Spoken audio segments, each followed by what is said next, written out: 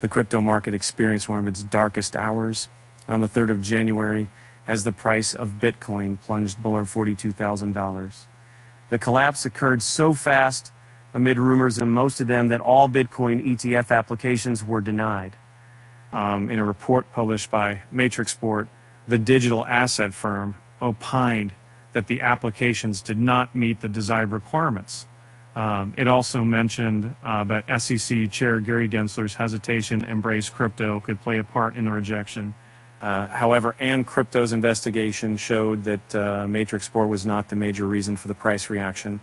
Uh, uh this was because the uh, the piece was an opinion, and Matrixport did not have the clout to nuke the market. Also, there were posts explaining how the firm CEO Jihan Wu did not have the credibility for matters related to the ETFs. And, and they see a different uh, Smellway. These were aware of them. They sell at Essence policies. They often watch them back next week. Uh, the real Matrixport report uh, is not fake news, as many are reporting. Uh, it's an analyst giving an opinion. We all do it daily. Uh, we are mostly wrong. It went viral uh, they are allowed their opinion. Um, uh, they couldn't know that their research report would rock the market. So Wolf of All Streets at Scott Melker, January 3rd, 2024. From AMBCrypto's findings, the report became fake news because a major publication amplified it. So participants panicked and started taking drastic actions while causing over $500 million in liquidation. Uh, this incident was similar to the one that happened in October 2023.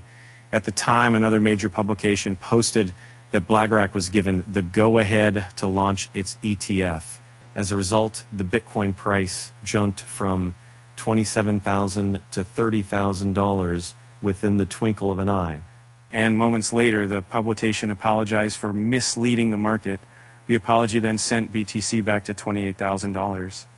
But in between all that, traders with open contracts felt the heat aside as 85 million was wiped out. Uh, during that time, uh, Michael O'Rourke, uh, chief market strategist at JonesTrading, said that the fake news about the Bitcoin ETF being approved highlights the challenge of protecting investors in an unregulated space that attracts shady operators and rampant speculation. As an extremely volatile market, fake news poses a serious threat to players genuinely concerned about the development of the industry. However, it is also important to mention that if the entire blame should not be passed to publications pushing out erroneous information. Regarding the latest episode, people familiar with the matter have cleared the air on the development. For instance, Fox Business reporter Eleanor Terrett posted that proceedings regarding the Bitcoin that ETFs were approaching the final stages. Uh, the update provided on the 3rd of January read, uh, while the final decision has not been made, uh, sources close to the proceedings say the SEC could begin notifying issuers of approval on Friday with trading beginning as early as next week. ETF analysts and issuers alike remain confident that a favorable decision from the SEC will be made on or before January 10th as the SEC continues to meet with key players on the map. At press time, the Bitcoin price had recovered, changing hands at $43,129. Should the SEC make a positive declaration about the ETFs by the above date, players are optimistic that BTC would climb above $50,000. Uh, one of those projecting a hike is Christopher Inks. Inks is a trader and prides himself as a market psychology expert. According to him, Bitcoin might break and hit $53,267 within a short period. Uh, as mentioned uh, on the show with the Scott Melker this morning, we are seeing a nice rally off this morning's flush. The H4 candle closed above the hourly pivot. Daily is looking even better. Breaking out higher should see a target of about 53.267 at least on this chart. So it means why Bitcoin, BTC, uh, there's screws uh, there's so many seeds in the middle of the old times. Uh, there's so many children uh, that studied everything are very useful.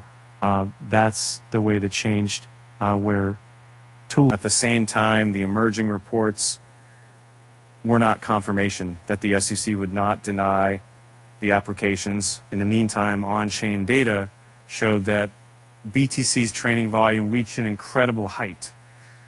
At press time, the volume was $47.38 billion. Uh, the surge in volume was a sign that the dip was getting filled very fast. Like the volume, Bitcoin's weighted sentiment climbed to 219. Weighted sentiment shows the unique social volume or comments linked to a project. So the positive reading suggests that the broader market has its eyes set on a potential ETF approval over the next few days, and the metrics imply that players have moved on from the fake news and are now standing their ground based on personal sentiment. However, both longs and shorts risk liquidation as shown by the liquidation heat map. The liquidation heat map predicts the price levels where large-scale liquidation events may take place. According to AMBCrypto's analysis of the Hyblock capital indicator, shorts with targets between 40,750 and 41,250 could be liquidated. Also, those with open positions uh, believing that Bitcoin would, would drop to $36,000 um, could be affected by a flush for longs.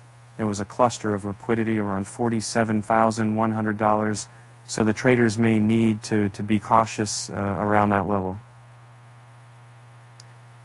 In conclusion, recent events have shown that cryptocurrencies are still vulnerable to inaccurate information. Uh, despite Jihan Wu's clarification that its analysis was not intended to collapse prices, crypto media have to shoulder the responsibility of not partaking in this intentional or unintentional misrepresentation. Uh, read Bitcoin's price prediction 2023-2024. Um, uh, however, it is unlikely that the tremor of the 3rd of January would influence the SEC's decision per the spot Bitcoin ETFs. Uh, though the pathway looks like a, a promising one for approval, um, it's important to wait till the regulator itself uh, confirms its stance. Um,